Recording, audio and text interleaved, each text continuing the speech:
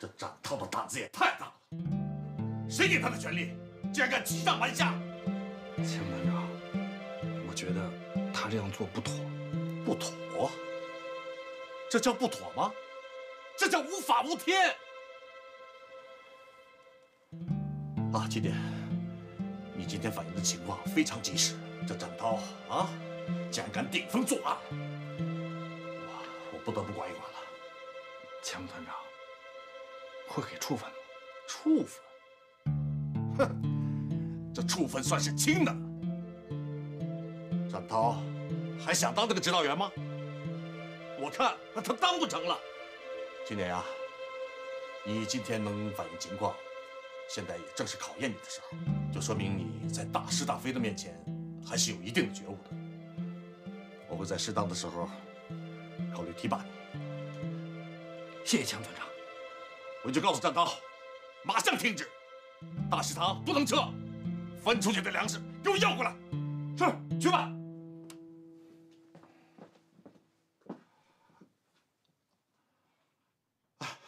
排好队啊！谢谢谢谢。每人两斤啊，每人两斤。来来，排好队，排好队啊！每家每户都有。排好队啊！谢谢谢谢。把队排好了，每人两公斤。管理知道了。赵新姐，排好队啊！大家都有，不要抢。什么玩意儿？排好队，排好队啊！他是找钱副团长告的密，这是他的一个机会。他不一直想当这个官吗？我当时跟他们几个人说，我说这事儿一定要保密。他说好，来了个底儿朝天。太天真了吧！你这么大的事儿，怎么可能保得住呢？你打算怎么办？凉拌呗，告我的密，大不了把我这个指导员给撤了，一切照旧，发粮食。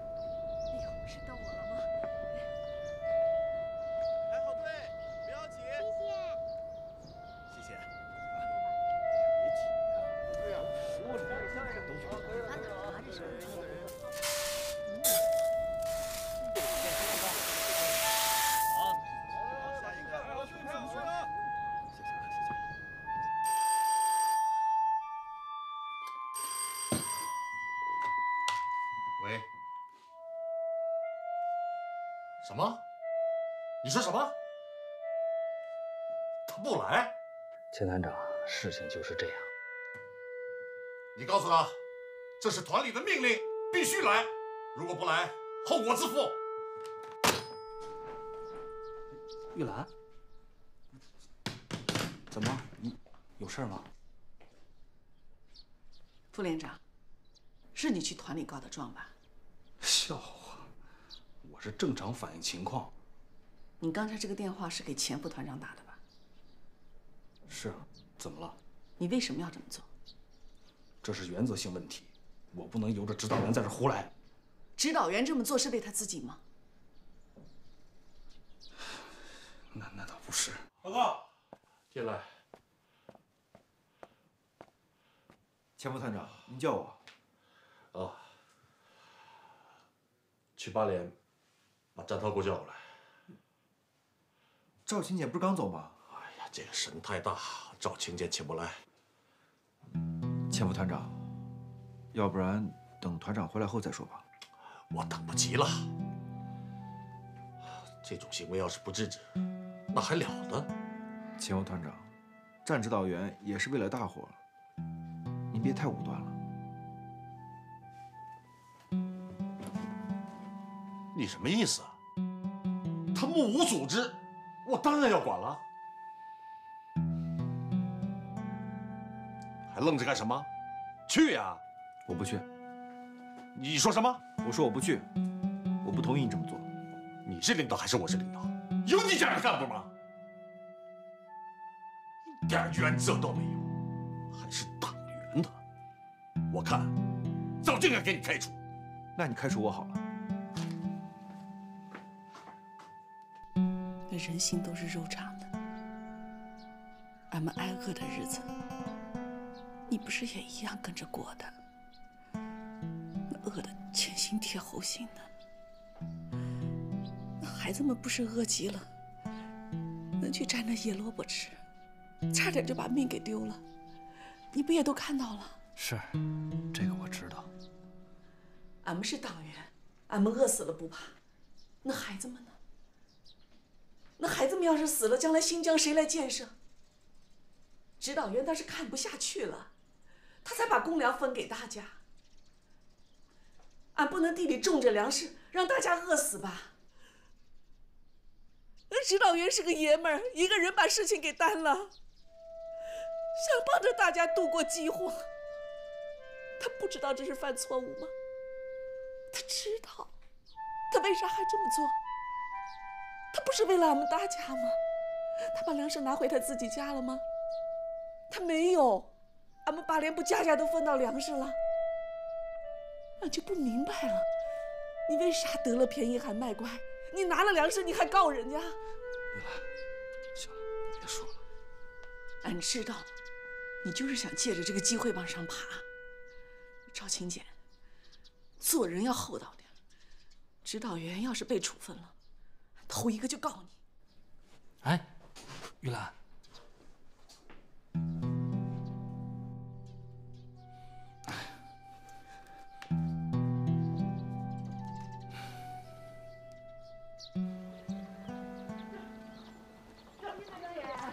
哎，北伐，吴传木，我去大团里。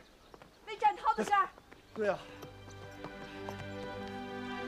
我是怕他们不了解咱八连的情况，如果偏听偏见，引起连锁反应，那可就麻烦了。那你找全副团长管用吗？不管用，我也得去啊。那劝降的事情，他正记恨着你呢，没事还找你的茬，你这不是往枪口上撞吗？还是等吴团长回来吧。可是现在不能等，得主动出击。那要出击，让俺去出击。你你这，哎，战涛已经让人抓着把柄了，你再去一闹，人家正好大做文章。那战涛是为俺们大家伙，不能让他一个人顶着。实在不行，俺把女兵排全带上，就在那个团部门口坐着为他伸冤。这好主意，我不是时候。哎，那你去咋跟他解释啊？我不是去解释他，我有办法。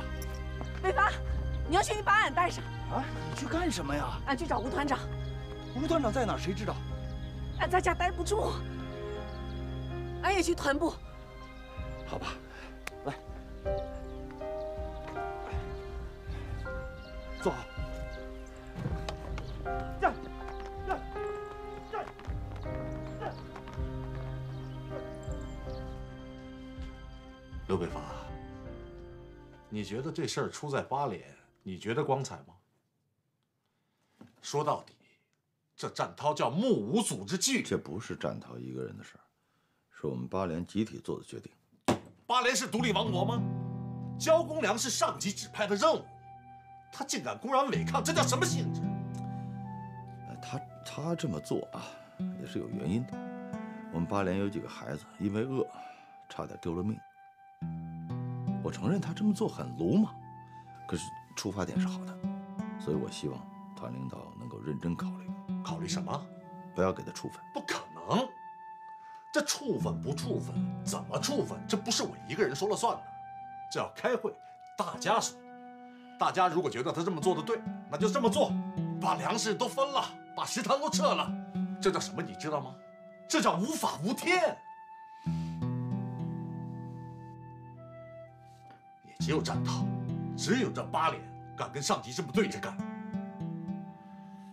刘北伐，你也是从八连出来的，我希望你说话呢，不要总站在八连的立场上。战涛犯了错误，我不该管吗？记住，我这个人呢是有原则的，我不会因为那些乱七八糟的事情打击报复的。咱们就事论事儿。好，既然你说的打击报复，那索性啊，咱们今天把话说开了。正好，有些事我也正想跟你说的说的。说的什么？哎，你什么意思？也许你贵人多忘事。前两年我上山劝砍风投降那事儿，不会就忘了吧？当时砍风可跟我说了不少你们俩之间的恩恩怨怨。我一直就怀疑是你指使徐根发杀了砍风。你这是含沙射影，血口喷人，小心我告你！我有没有血口喷人？你说了同样也不算。那得大伙儿坐在一起，大家说了算啊！团里开会来决定，我到底有没有血口喷人。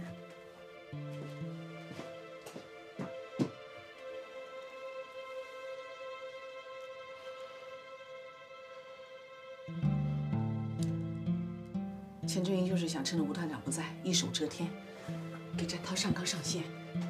在这个团部，除了吴团长，没人能镇得住钱副团长。姐，啊，电话还是没人接。那咋办呢？那不行，俺去市里，俺去找吴团长；再不行，俺去找刘政委。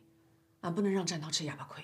姐，你先别着急，我去趟师部。哎，你别去，你去合适吗？你在团里工作，别得罪了钱振宇呀。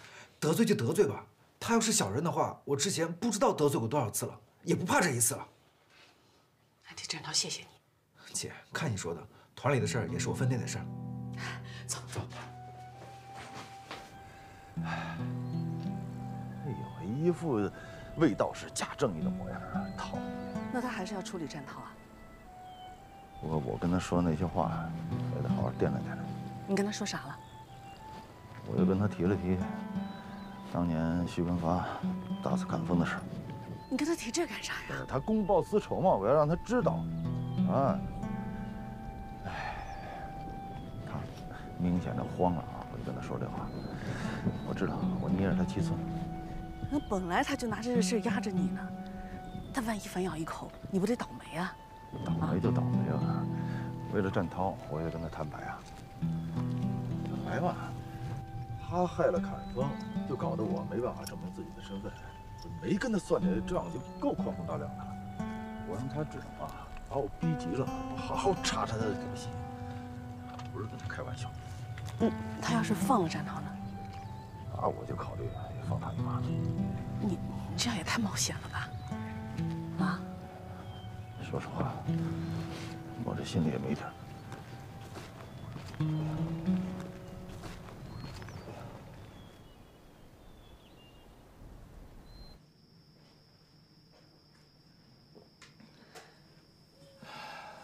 别喝了，当家的。我高兴，喝两口。哎，还不知道你心里想啥呀？你这是给自己壮胆呢。我，你是我肚子里有蛔虫吗？你去把天亮叫回来吧，这么晚别让他在外面玩。嗯，孩子好不容易吃次饱饭，让你多玩会儿。俺这一天到晚心里七上八下的。自打你撤了大食堂，让大伙分粮食那天起，俺就觉摸着会有事儿。能有什么事儿啊？什么事儿都没有。你躲得了今天，你躲得了明天啊？我又不是过街的老鼠，我躲什么呀我？那明天能把我怎么着？团里的会去不去啊？去啊！团里面开大会，我能不去吗？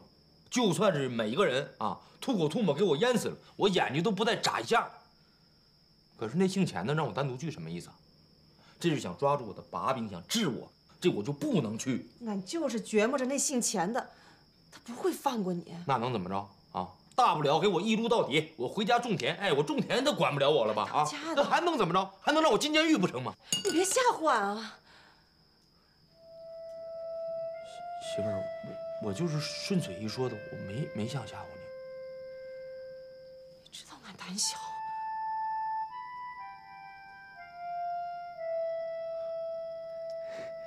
放心吧，没事啊。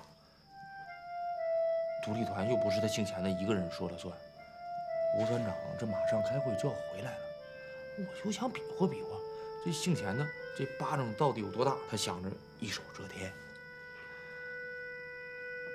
说到底，你也是为了大家伙儿。他们要真让你坐监狱，俺等你。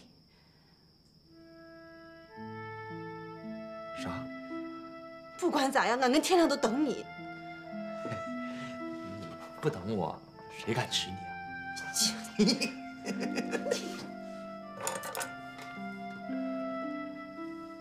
不许喝了啊！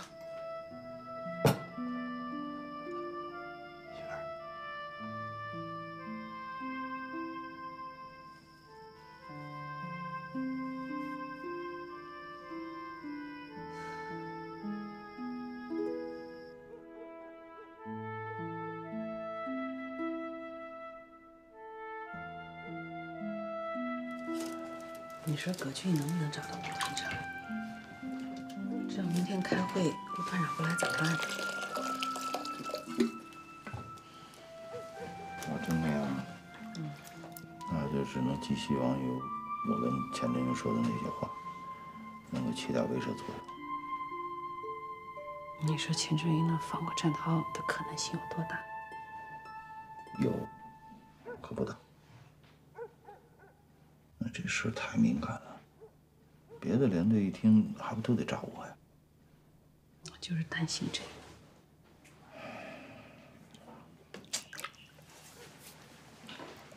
副团长如果明天回不来啊，这个会就得由钱振云来主持，那就坏了。他还不得上纲上线啊？那夸大事实也有可能。你说这个战涛为了咱们大家，唉，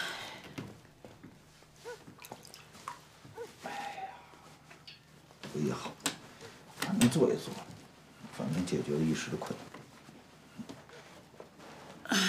可他自个儿遭罪呀、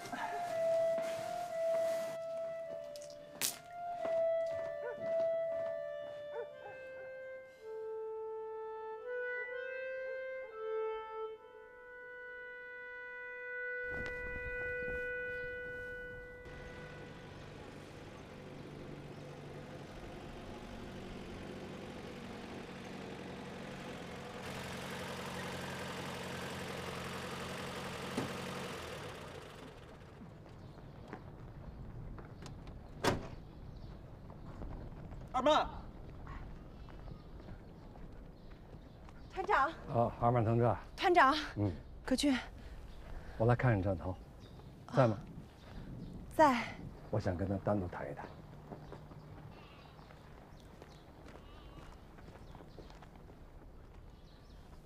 葛俊，团长他别担心，让团长跟指导员好好谈谈。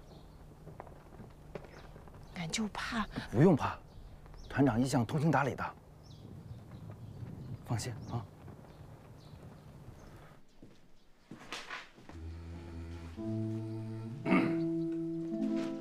团长，嗯，情绪不错嘛。大丈夫做事敢做敢当。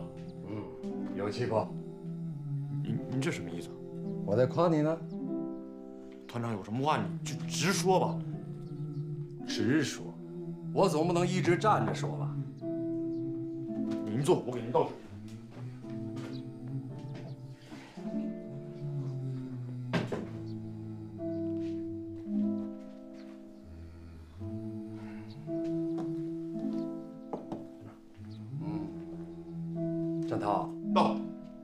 记着咱们团和八连的前身吗？三五九旅独立团冲锋连。倒是一个字儿都不错。这是作为军人一辈子的荣誉。说得好。团长，我我你想说什么？我想说，革职还是送监狱，所有的处分我都认了。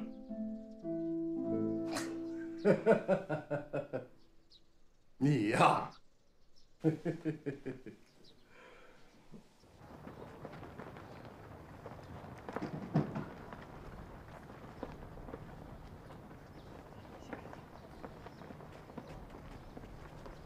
葛俊，你觉得会有事儿吗？我跟团长当警卫员好几年了，团长心情怎么样？这事儿会有什么结果？我大概能猜个八九不离十，所以我觉得应该没事儿。那团长说什么了没有啊？团长没说，一句话都没说。这不还是没底吗？你先别担心。战涛，你告诉我，我凭什么处分你？我犯错误了，就应该受到处分呗。难道饿死人就不违反纪律了？这什么道理？啊？你别这样看着我，我来不是批评你的。我们搞建设为的是什么？为的是人民的利益。国家有了困难，我们理所应当承担，因为我们骨子里是军人，我们是国家的主人。工作当中遇到具体的困难，应该具体对待，这是对的。那人都快饿死了，孩子们中毒住了医院，我们就应该袖手旁观，我们不应该替他们考虑考虑啊。更何况，这粮食是我们自己种的，嗯，对吧？唉，让你受委屈了，团长，我不委屈。嗯，我从师部一回来就听说这个事儿了。今天上午的会，我已通知撤。你别乐，可我还不得不说说你。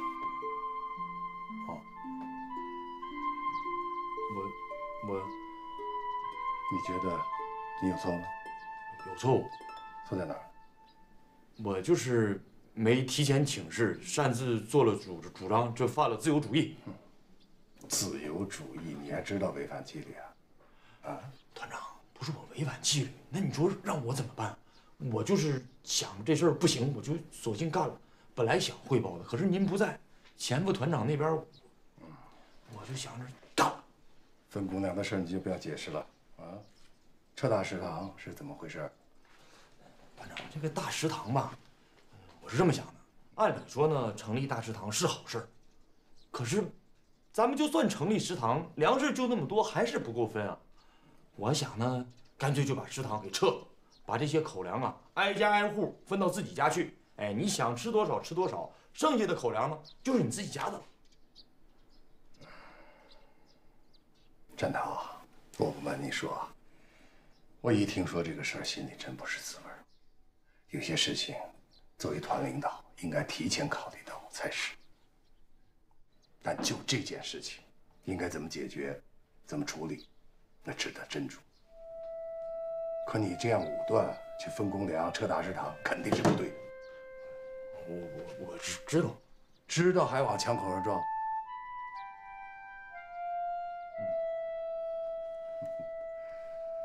你还记得我们在山西老河口那场战役吗？记得啊。你小子，谁都没有请示，偷偷的摸到敌人后边，一枪就怼到敌人腰眼上。啊，那个仗干得漂亮，像我带的兵。后来给了你嘉奖，哎，连长也是那时候提拔起来的吧？啊。可那是战争时期，非常时期，你那样做是有情可原的。可现在是什么时候呢？是和平时期，你那样先斩后奏，就不合时宜了，对不对？团长，这说来说去，这还是要给我处分啊。这个事儿我一个人定不了，你等着消息吧。但是我可以肯定的是啊，这件事情既不能宣扬，也不能推广。不不，那那肯定不宣扬。这事儿都胡脑胎上不了台面的事儿，怎么能宣扬呢？真是胡脑袋！你看看把你家二曼急的，啊，回去好好的跟他解释一下。啊，我先走了。我，我送你。这会不开了。什么？会不开了？是啊，我让葛俊通知的。团长，你你这什么意思啊？没别的意思，这事不宜太急。我看你这就是姑息迁就。抱歉，你也不想一想，现在开这个会会造成什么样的影响？各连的情况都差不多，你这样做不就炸了锅了吗？团长，我跟你的意见恰恰相反。我们怕影响其他的连，就纵容八连，纵容战涛，这他会更加变本加厉的。我们开这个会就是要杀一儆百。什么？杀一儆百？对，把八连作为反面的典型，必须全团通报批评，给战涛处分。这个情况我也了解了，非常特殊，战涛这么做也是情有可原呐。团长，你也太没原则了吧！我的原则就是让同志们别饿肚子。那照你这么说，全团不乱了套了吗？乱什么乱？有什么可乱的？这种歪风要是刹不住，那会传染的，传染给其他的连。老钱，难道这是歪风吗？难道不是吗？老钱，我来问你，战涛是贪污了还是犯法了？啊，他不就是不想让同志们饿死，不想让大伙遭罪，分了点公粮吗？他还解散了大食堂。嗯，好好好好好，就这两条，我们一条一条说。头一条是办公粮的事儿，我觉得呢，单从这件事情上来讲，我们不需要多么讲原则，对吧？交多交少只是个数上的事儿，少报一些也可以。那上边查下来，那粮食已经吃到肚子里了，怎么办？老钱呐，你说一说，是领导批评几句好呢，还是让同志们饿肚子好？啊，这第二条。办大食堂是上边提倡的，啊，各连队都办了，但这也不是硬性的。这次我到市里边，还专门提到了这个问题，好多基层就没办，办了的觉得不好，也都撤了。所以说这条根本算不上吧？好，好，好，算不上，咱不说，咱就说第一条。私分公粮，这是什么性质啊？这要成了风气，那还了得了？团长，咱们这股风气要是刹不住，上级以后给咱们的任务，咱们完不成。你可想好了？反正您这么没原则，我反对。那，那你说怎么办？这事儿必须向市里汇报，必须的。好，我同意。那你回头把情况写一写，咱俩认为属实，签个字，那是上报市里。既然团里边解决不了，我们就上报市里来解决，这样总可以了吧？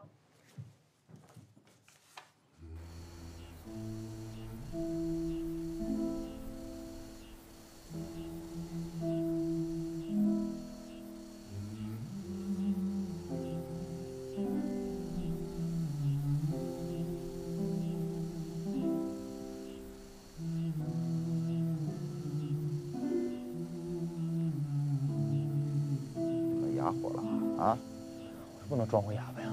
这心里打鼓了吧？我是兔子，你是豹子。你这倔脾气一上来啊，就是一头豹子。这是出头的船子先烂呢，跑得太快会要你小命。你说我这回给受过什么级别的处分？我当官分级别，没听说过处分还分级别。最好让我坐牢去。不够级别。你不说不分级别吗？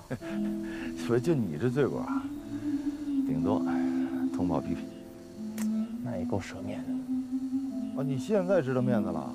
也不知道这次是对的还是错的。嗯，闹半天你脖子梗上的全是装的。那可不就是装的吗？站指导员，站指导员，派给你来的信。啊，哎，好，谢谢啊。不客气，走了啊。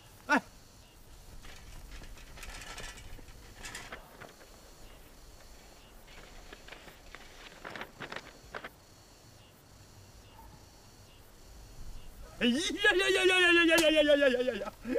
哎，快快快，你来看看啊，看清楚了。市领导批示，不提倡不打打压。你说我该不该高兴？该。该不该喝酒？该。哎呀，拨云见日啊！哎，这这词你也会拽啊？啊，那你家玉兰跟你过那那么点日子都能出口成章了，咱俩过多久日子？这么多年，比他时间长多了，我还不能偷几句？只要你能保住小命啊，咱俩的日子继续往下过。哎呀，国运节日啊！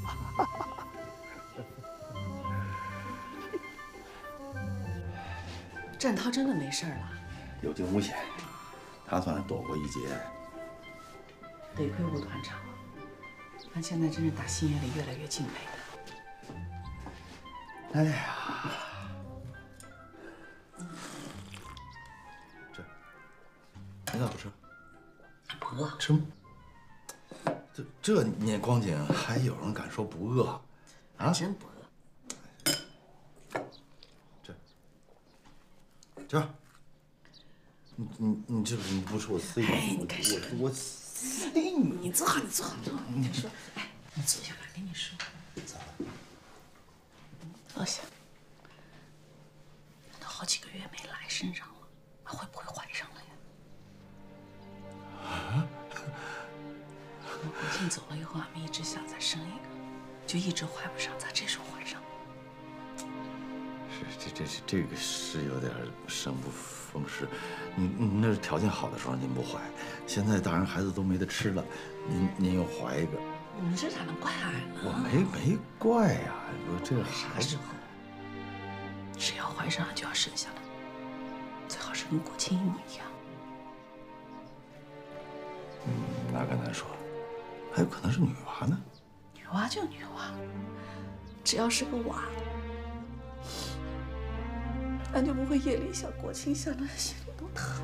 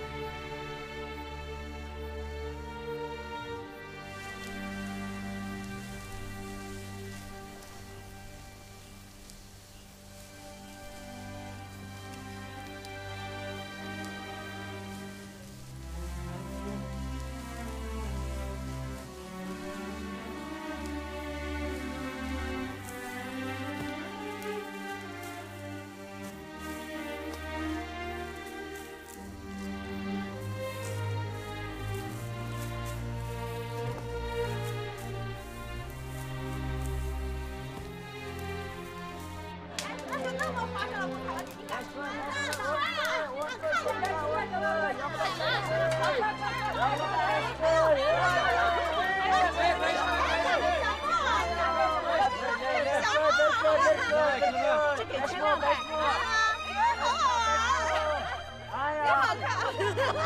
老板，老板，小帽多少钱？这个啊，一块钱。一块钱，不行，八毛，拔毛，拔毛，觉得城里这么好，东西六六毛钱，六毛钱给我们了。好了好了好了，来过去好了。我这我这个，哎，这样了，哎，老乡，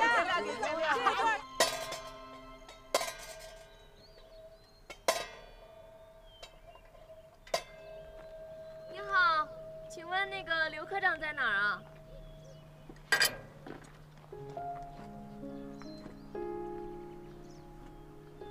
你就是梅英。您就是刘科长。对。您好，我是梅英，我来报道的。上海机修学院毕业的，对，五四年来的，师科农技，今年二十八岁。像是在查户口。科长，我是最远来的独立团。我们科的情况呢，凡是和农业技术和科学种植沾边的，都跟我们有关。这几年兵团发展很快，咱们的工作一定不能落下。嗯，我听团长都介绍过了。那今后咱们一起努力了。哎，生活上的事儿安排好了吧？哦，宿舍都已经安排好了，吃饭有食堂，比我想象的要好。科长，以后技术上的事儿就请您多多指教了。跟我不用客气。干脆你就搬城里住来得了。你上次不就是喜欢城里看吗？好看好看，这个衬衫好吧？啊，随便买大错一个。你看我穿的哎呀，你穿这小孩穿的，我觉得这个做衬衫好看。你看它这个像被套。那蓝格子的。对了对了，给他买两块糖。哎，刚求半天了。哎，老板老板，呃，这是这还有这个这个，老板来一包这个，老板可以这个好看可以啊，拿两包这个，这么便宜啊，真好。好好的好的。你说给你这个，好。给我拿个好看的那边的，挺好看的，做做个衬衣。什么几十块？哎，好看，这是吧？俺们一人 扯一个衬衣，好不好好好，那，几尺？这已经很便宜了。四尺一个人啊。老板，哎，干们一人来，一人来四尺啊，真好看，好适合你啊。谢谢谢谢谢。好好，走吧，咱们上那边看看。哎，哎，老板，这个表拿给俺看看。好。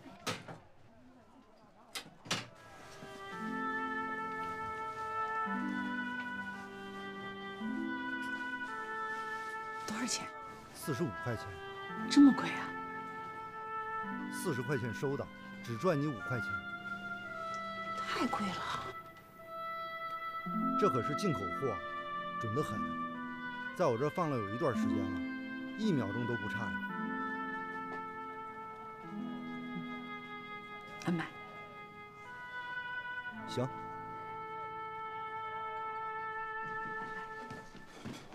干啥你这这么高兴？你看看，这是什么？啥啥呀？看看啊，这不这这不是俺的表吗？是啊，可是我已经给卖了呀。你哪个？不是，俺还不买了，四十五块钱买的。你变魔术呢你？你把它买回来干啥？你那个时候不是为了给赵龙寄学费，把他给卖了？把钱给俺了。哎那是这这么烂谷子的事，你还记着？你对俺的好，俺都记着。可是四十五呢，那能过好几个月。再者说，你你这说有就有，咱们得为未来的解放留点后手。哪说有就有啊？那以后有再说呗。也奇怪啊，上次你告诉我说好几个月没来了，就后来我我白高兴，突然他又来了，可能？可能是饿的。哎呀，我怀疑你有谎报军情。那干嘛谎报军情？你骗吃骗喝呗，你就 气你的！这个东西太浪费了，不不，啊。俺刚来马连窝子的时候，俺就看你戴着这表，俺就觉得你跟别的男人不一样。呃，不带着他你就看不见我是吧？反正带着他，更惹眼。你快给俺戴上，来，咋戴？麻烦了。手伸直了，嗯。为了让你惹眼。嗯。好。看 看就是不一样啊。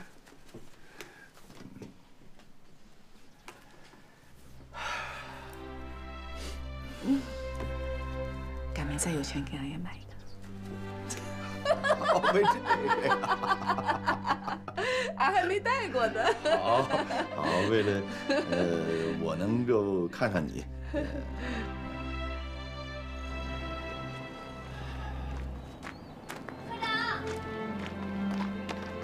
科长，梅艳，有事儿？优质棉可行性计划书我写好了，您看一眼。是吗？但您看这儿啊，我标出来了，这些都是我总结的其他国家比较先进的经验，根据咱们新疆土壤的特质，在这边我列出了所有应该进行实验的项目。下面都是啊。对，都是。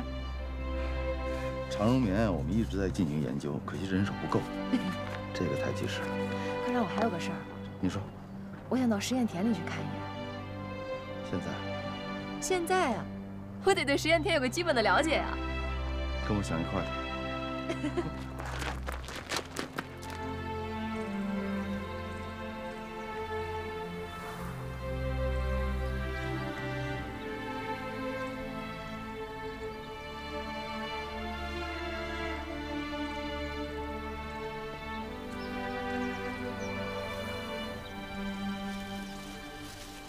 上。好，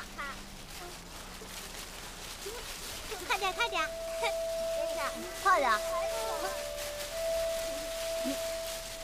快点。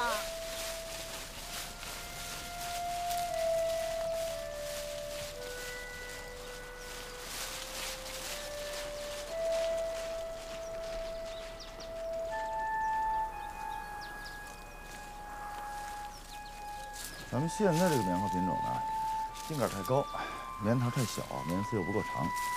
咱们下面主攻的就是如何要改良它。我想应该把注意力放在这里的气候这方面。嗯，在这方面多动脑子。您懂得可真多。我也是现学现卖。在咱们师里还没有试种长棉成功的案例呢。所以需要咱们探索。去实验、去探索。我会努力的。你是学这个的，这个你专业。您可太谦虚了。您改造拖拉机、搞农田喷灌的事儿，我可都知道。我觉得您了不起。按理说，师里边的条件比团里的条件要好啊，你为什么要下来？我能不告诉你吗？当然可以。在市里的时候，我就喜欢下基层。我们这行啊，离开了土地，就什么都不是了。